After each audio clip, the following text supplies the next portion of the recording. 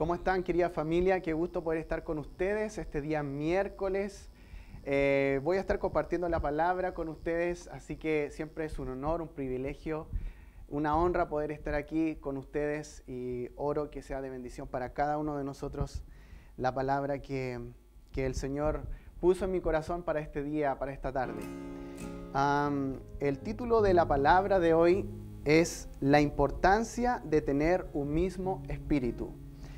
Y tiene que ver mucho y está enlazado, por supuesto, con lo que nuestro pastor compartió el domingo pasado.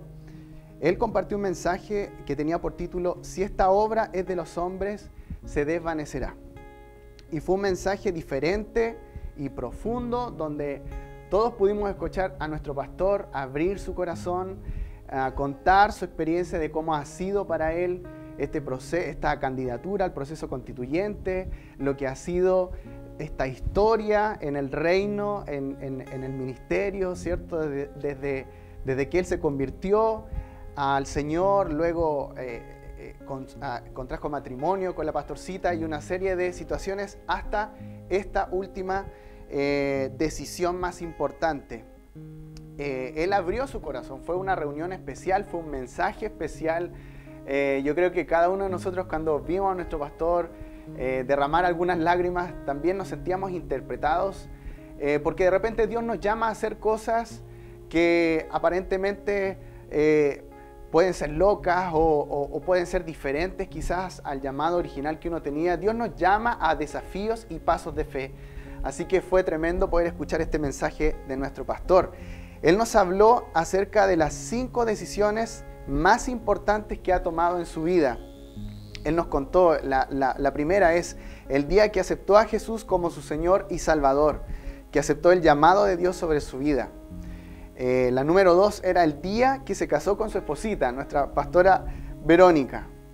Eh, la tercera decisión más importante, el día en que como matrimonio ellos abrazaron el llamado de Dios de invertir sus vidas y ministerio en la compasión social como fruto de la intimidad con Dios y que todos hemos visto a través de los años cómo el Señor nos ha llevado a ser una iglesia samaritana, una iglesia generosa que da para poder eh, suplir las necesidades de nuestro prójimo. La decisión más importante, la cuarta, el día en que entendió que el reino de Dios está en medio de nosotros y que Dios responde a un nivel de fe fuera de lo común. Y también lo hemos visto durante los años, todos los proyectos que el Señor nos ha encomendado, que ha puesto en el corazón de nuestros pastores y que, también han, ha puesto en el corazón del equipo pastoral para, como un medio de soporte para la visión y luego sobre la iglesia, donde cada uno de nosotros somos parte y estamos terminando de construir nuestro hogar de niños acoge, ampliamos el centro médico, eh, en fin, muchas cosas que Dios nos ha llevado a hacer durante todos estos años.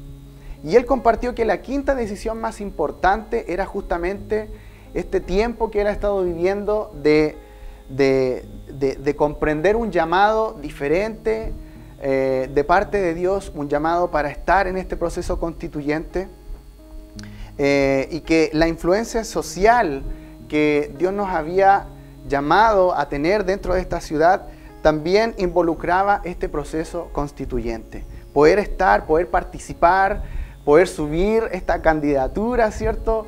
Eh, y, dejar que Dios sea Dios y provea los medios para lo cual esto pudiera ser posible. Y nos habló de cómo eh, este encargo de Dios de participar en este proceso no ha sido fácil, porque involucra muchas cosas, involucra, eh, si, sale efectivamente la candidatura, involucra estar lejos de la familia, lejos de la iglesia, exponerse a, otro, a otro mundo, a otro, en otro territorio, entonces, no es algo fácil y, realmente yo creo que todos los que estamos en el equipo pastoral eh, también es un, desafío poder, poder responder a este llamado de Dios, porque no es algo sencillo. El pastor eh, citó un texto que está en Hechos 5, 38b al 39, en la primera parte, que dice, si lo que se proponen y hacen es de origen humano, fracasará pero si es de Dios, no podrán destruirlos. Y ustedes se encontrarán luchando contra Dios. Y esta palabra tiene que ver, él dio todo un contexto, eh, que en este momento solo lo voy a citar nomás, pero dio todo un contexto de cómo esta palabra nos ha guiado en este último tiempo, de, que si este proceso constituyente, este, esta posibilidad de postular es de Dios, nada ni nadie va a poder detener esto, porque si es una obra de Dios, Dios va a cumplir su voluntad. Pero si es algo de origen humano, esto va a quedar en una buena intención y no se van a abrir las puertas y no va a resultar. Eh, así que este es un texto que nos ha guiado en este último tiempo. La versión, eh, la traducción en lenguaje actual dice, pero si es un plan de Dios, nada ni nadie podrá detenerlos y ustedes se encontrarán luchando contra Dios. Y yo creo que este texto eh, no es tan solo para nuestros pastores, sino que también es para nosotros como iglesia, de entender de que si Dios puso este encargo efectivamente en, el corazón de nuestros pastores, del equipo pastoral y de la iglesia, eh, todos tenemos que estar ahí como un soporte sobre lo que Dios quiere hacer en la iglesia, sobre lo que Dios quiere hacer en la vida de nuestros pastores en el próximo tiempo y el grado de influencia que Él está derramando sobre sus vidas. Y el pastor terminó citando un texto bíblico que utilizó Marquito González cuando hace algunas semanas eh, compartió el, el mensaje del costo de ser un discípulo. Y dice, si eh, Lucas 14, 26, si alguno viene a mí y no sacrifica el amor a su padre y a su madre, a su esposa y a sus hijos, a sus hermanos y a sus hermanas, y aún a su propia vida, no puede ser mi discípulo. Así que el pastor terminó la predicación del domingo pasado pidiéndonos a la iglesia que oremos, que estemos orando para que el Señor muestre su voluntad. Este sábado 23 de enero se, sabe, se, eh, se publican los resultados de la candidatura y vamos a saber si esto finalmente es algo de Dios o es una buena intención de los hombres, pero vamos a saber cuál es la voluntad de Dios eh, para todo este proceso que estamos viviendo. Y mientras yo escuchaba la predicación del domingo pasado y luego pasaron algunos días, yo estaba preguntándole al Señor de qué cosa podía compartir hoy miércoles, de cómo podía conectar la palabra del domingo con esta palabra de, de hoy miércoles. Y el Señor puso en mi mente una frase que eh, decía un mismo espíritu. Y comencé a hablar con el Señor y preguntarle a, qué te refieres, Señor. Y el Señor me llevó a este pasaje bíblico que está en Lucas, donde eh, hubieron dos discípulos que pidieron al Señor hacer algo, pero que estaba totalmente alejado de lo que era el corazón de Jesús y lo que era la intención de Jesús. Y vamos a, leer ahora y vamos a poder analizar un poquito este pasaje bíblico. Vamos a Lucas 9 del 51 al 56, que dice así. Como se acercaba el tiempo de que fuera llevado al cielo, Jesús se hizo el firme propósito de ir a Jerusalén. Envió por delante mensajeros que entraron en un pueblo samaritano para prepararle alojamiento. Pero allí la gente no quiso recibirlo porque se dirigía a Jerusalén. Cuando los discípulos Jacobo y Juan vieron esto, le preguntaron, Señor, ¿quieres que hagamos caer fuego del cielo para que los destruya? Pero Jesús se volvió a ellos y los reprendió. Luego siguieron la jornada a otra aldea. Este último, los últimos versículos en la versión eh, Reina Valera contemporánea dice así. pero Jesús se volvió y los reprendió y les dijo, ustedes no saben de qué espíritu son, porque el Hijo del Hombre no ha venido a quitarle la vida a nadie, sino a salvársela. Y se fueron a otra aldea. Cuando analicé este texto bíblico, después de que sentí que el Señor puso en mi mente la frase un solo espíritu, comencé a, desglosar este texto y, aquí vemos claramente cómo Jesús sabía que él tenía un encargo de Dios. Su encargo era experimentar la cruz, traer redención a la humanidad y para eso tenía que ir a Jerusalén. Era como el último viaje que iba a hacer, llegar a Jerusalén para que todo esto se cumpliera.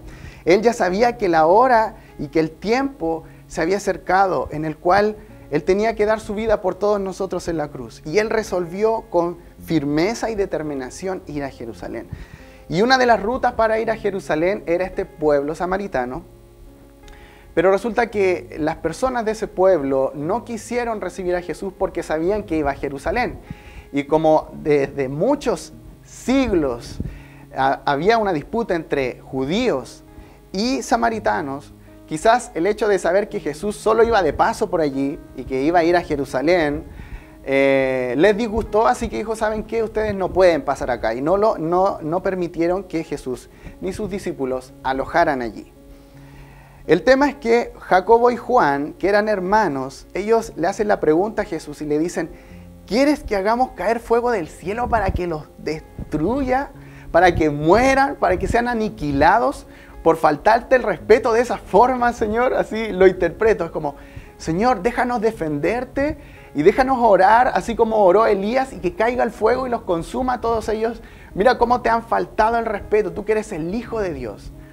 Y resulta que Jesús los reprende y les dice eh, en esta versión de la Reina Valera, ustedes no saben de qué espíritu son. Porque el Hijo del Hombre no ha venido a quitarle la vida a nadie, sino a salvársela. O sea, Jesús le dice, yo vine a salvar la vida de las personas, no a destruirla. Entonces, es interesante ver la actitud de Jacobo y Juan, que quizás ellos tratando de defender al Señor, tratando de, eh, no sé, honrar al Señor, o después de esta actitud de los samaritanos que tuvieron hacia, hacia Jesús, ellos querían defenderlo, ellos querían quizás hasta vengarse por, por esta actitud inhospitalaria de los samaritanos. Eh, y Jesús los reprende los amonestó, los regañó, los increpó por no tener su mismo corazón, por no tener su mismo espíritu. Jacobo y Juan no estaban de acuerdo con lo que había ocurrido y querían hacer algo al respecto, quizás con una motivación de defender al Señor, pero que estaba muy distante de su corazón y de la intención del Padre. Y cuando estaba, cuando estaba leyendo este texto me pasaron varias cosas que uno puede sacar el limpio, varias cosas que tú puedes tomar para tu vida. Pero en, este contexto, según lo que, lo que compartió con nosotros el pastor el domingo pasado, yo sentía tan fuerte la importancia de que nosotros como iglesia tengamos un mismo espíritu con eh, nuestros pastores. En este caso, en este texto bíblico, es que los discípulos tuvieran un mismo espíritu con Jesús, con su llamado, con su propósito de ir a Jerusalén, de no destruir a otros, de, tener su mismo corazón. A pesar de que pasen estas cosas que no los quisieron recibir. Entonces, después de la palabra del domingo, yo quedé con la sensación, nosotros como iglesia tenemos que alinearnos con, el Señor y alinearnos con el corazón de nuestros pastores, de tener un mismo espíritu, de estar todos como un solo hombre, como, como todos en la misma eh, en, la misma interpretación de lo que Dios quiere hacer con nosotros, porque eh, todo este proceso no es algo fácil y el pastor estuvo hablando de eso largamente el día domingo. Hay un costo que involucra esto. Entonces, si nosotros como iglesia no tenemos un mismo espíritu con lo que el Señor está derramando y con el desafío que Él ha puesto en el corazón de nuestros pastores, del equipo pastoral, eh, de hacer este salto de fe, eh, vamos a estar en otra frecuencia, en otra sintonía. Y quizás vamos a, ver cómo las cosas pasan, pero no vamos a estar ahí intercediendo, clamando, como debiéramos estar. Entonces, y quizás vamos a poder criticar y decir una serie de cosas, y de eso tenemos que cuidarnos, iglesia. Tenemos que cuidarnos tú y yo, de cuidar nuestro corazón, de, de bendecir y honrar a nuestros pastores en, esto que, en esta decisión que Dios ha puesto en sus corazones y que como el pastor nos compartía el domingo, tiene un costo altísimo a nivel familiar, a nivel emocional, eh, eh, estar lejos de la iglesia, etc. Entonces, eh, como bien decía el pastor, nuevamente en este texto de Hechos 5, 38 y 39, si lo que estamos proponiendo es de origen humano, va a fracasar, va a quedar en una buena intención. Pero si es de Dios, no, podrá, no podremos destruir esto, no, no, nada ni nadie va a poder detenerlo. Eh, y, si, y, si no entendemos esto, puede ser que nos encontremos luchando contra Dios, como dice este texto bíblico. Entonces, es importante familia, yo creo que esto sentía de parte de Dios, que es importante que nos alineemos con el corazón del Padre y ver desde arriba, ver cómo con esta vista de águila los propósitos de Dios, los caminos de Dios, que son mucho más altos que los nuestros. Para algunos puede ser que este tema del proceso constituyente o la forma en la cual resultó ingresar a este proceso puede que nos incomode, puede que no nos guste, puede que no estemos de acuerdo, es válido. Pero Pero yo quisiera que nos animemos todos como iglesia a recordar esto. Vamos a saber el sábado qué pasa. Y si es de Dios, nada ni nadie va a poder detenerlo. Jesús reprendió a sus discípulos porque estaban viendo con sus ojos naturales lo que estaba pasando, pero no estaban viendo desde la perspectiva del Padre, el propósito de Dios por sobre los intereses de las personas, el propósito de Dios, a dónde Dios nos quiere llevar con todo esto. Así que necesitamos esa vista de águila para ver desde arriba las situaciones, ver desde, desde lo macro. El propósito de Jesús en este pasaje bíblico era ir a Jerusalén, era su encargo, era su llamado. Es como yo lo interpreto de esa forma. El, pastor ha sentido este encargo de Dios. Eh, eh, le ha pedido más de 30 palabras al Señor y, más de 30 confirmaciones han venido a través de palabras bíblicas, de textos bíblicos. Recuerdo cuando el pastor pidió una confirmación con Julián que durmiera toda la noche y durmió toda la noche y ahora para la gloria de Dios Julián está durmiendo todas las demás noches. Ha dormido excelentemente bien por ya más de, una semana. Vamos para los 10 días de dormir bien. Entonces, para mí ese es un tremendo vellón de lana que fue experimentado en mi familia. Eh, y para el pastor, cuanto más esas más de 30 palabras que él ha recibido del Señor.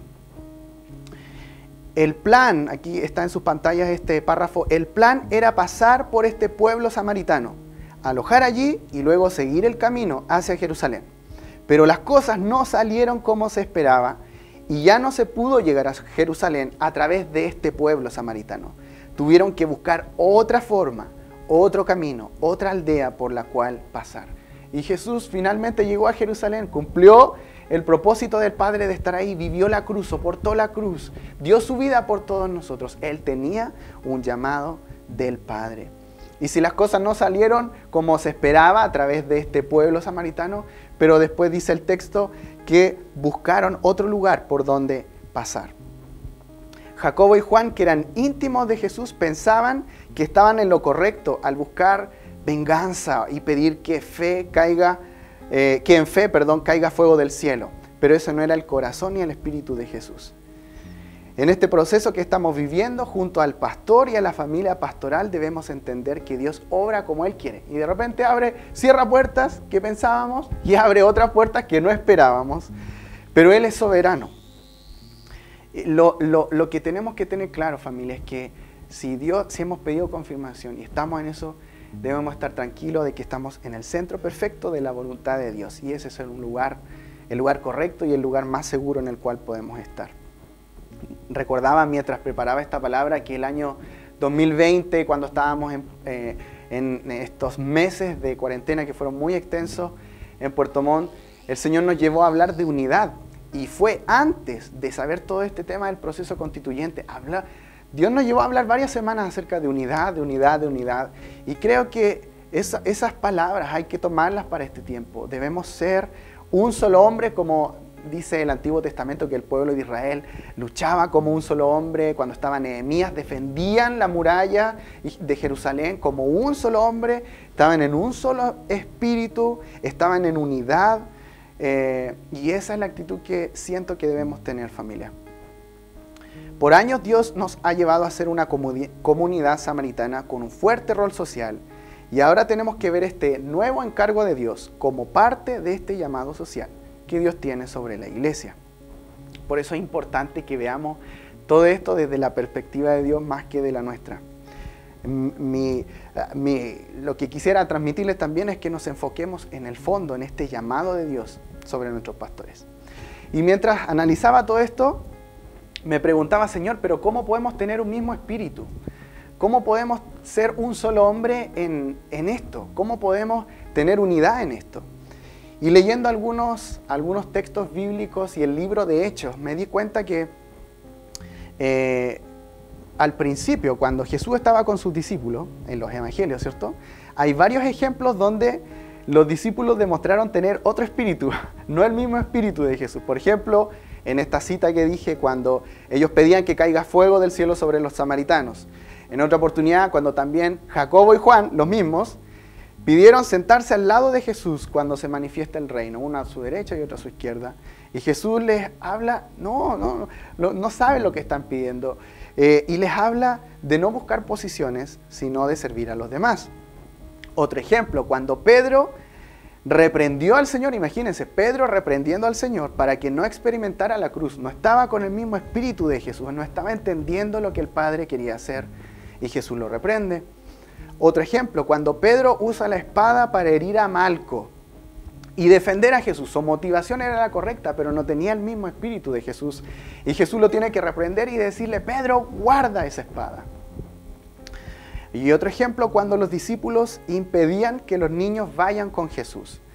Eh, y el Señor les dice que no se lo impidan, que dejen a los niños ir con Jesús. Entonces, varios ejemplos donde los discípulos, a pesar de pasar tiempo con Jesús, no estaban en la misma frecuencia, no estaban en la misma sintonía. Y le preguntaba al Señor, ¿cómo podemos tener entonces un mismo espíritu, Señor? ¿Cómo trabajamos esto? ¿Cómo tú puedes venir a nuestro corazón y, quizá aunque tengamos diferencias, ¿cómo puedes crear unidad para que trabajemos como un solo hombre? Y me di cuenta que en el libro de los Hechos está este texto bíblico, que está en Hechos 1.14, que tienen en sus pantallas y que dice, todos en un mismo espíritu se dedicaban a la oración junto con las mujeres y con los hermanos de Jesús y su madre María. Y luego más adelante eh, leemos en el libro de los Hechos cómo vino el Espíritu Santo y cómo en, Pentecostés y se derramó el Espíritu Santo, lenguas de fuego, los, discípulos fueron llenados y refrescados en la visión de Dios. Eh, y todo por la acción del Espíritu Santo. Entonces, mi conclusión fue que todos podemos estar en un mismo espíritu, todos podemos ser un solo hombre, todos podemos trabajar en unidad a pesar de nuestras diferencias, cuando dejamos que el Espíritu Santo venga a crear esta unidad de tener este mismo espíritu con nuestros pastores. Nosotros en realidad deberíamos estar orando, Señor, danos el mismo espíritu que tienen nuestros pastores.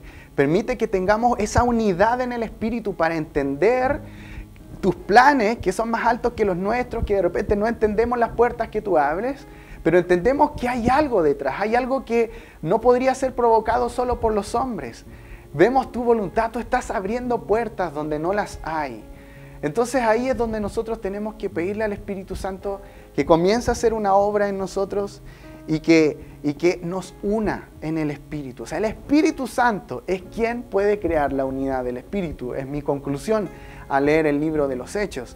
Al ver cómo los discípulos, aunque de repente tenían algunas diferencias, pero trabajaban de tal forma que ellos llegaron a dar su vida por el Evangelio y a cumplir la voluntad de Dios en sus vidas, el llamado que ellos tenían. No le importó si había diferencias, no le importó si Pablo después eh, Dios lo llamó, siendo que persiguió a la iglesia, ellos lo tomaron finalmente como uno más de los apóstoles. Y, y, aunque en algunos textos se ven hechos que Pablo y Pedro tenían algunas diferencias, pero ellos estuvieron dispuestos a dar su vida por el Evangelio. Y esa unidad la creaba el Espíritu Santo. Y hay un texto que, está en sus pantallas que dice, la unidad del Espíritu supera nuestras diferencias porque vemos el propósito de Dios detrás de todo. Y dejamos de lado lo que nos divide y nos enfocamos en lo que nos une. Si nosotros dejamos que el Espíritu Santo venga a permear esas diferencias. Eh, en, lo, en, lo, esencial tener unidad, en lo no esencial podemos tener diferencias, pero en lo esencial, en el llamado de Dios, en el encargo que Dios ha puesto sobre esta casa durante todos estos años y ahora este nuevo encargo, debemos tener unidad familia. Así que para terminar a mí me gustaría animarte, animarme a mí mismo y animarte a ti que me estás escuchando hoy, a que estemos orando por nuestros pastores, a que estemos cubriéndolos a ellos como matrimonio, a sus hijos. Porque si esto es de Dios, involucrará un costo no menor y debemos ser una iglesia que tenga el mismo corazón y el mismo espíritu que nuestros pastores. Una iglesia que esté orando por nuestros pastores. Eh, qué, qué reconfortante saber que hay una iglesia detrás orando. Qué reconfortante debe ser para los pastores saber que hay una iglesia que está clamando para que Dios haga la voluntad. Y si es la voluntad de Dios entrar en este proceso, cubrirlo en oración durante todo el tiempo que esto involucre. Así que familia, ese, es lo que sentía para hoy compartir con ustedes, tener un mismo espíritu con nuestros pastores, con la familia pastoral, con el equipo pastoral. Ah, así que quiero animarte realmente, ora al Espíritu Santo para que Él te muestre ah, eh, cómo, cómo poder unirte y ser parte de esto en oración. Así que vamos a orar familia. Gracias, gracias Padre por esta palabra, gracias por, porque tu palabra es viva y eficaz, Señor. Eh, siempre llega a lo más profundo de nosotros, penetra hasta lo más profundo y nos hablas, nos confrontas, nos exhortas. Quiero orar, Señor, que seamos una iglesia que honre a nuestros pastores, Señor, en todos los llamados, Señor, que tú tienes sobre sus vidas, Señor, lo que hemos visto durante años, el compromiso de ellos de buscar tu máximo bienestar, Señor, en toda situación, en todo lo que ellos hacen, eh, buscar tu máximo bienestar, Señor. Queremos ser una iglesia que honre, que sustente, Señor, en oración a, nuestro, a nuestros pastores, Señor. Gracias por este tiempo y te adoramos con todo nuestro corazón. En el nombre de Jesús. Amén y amén.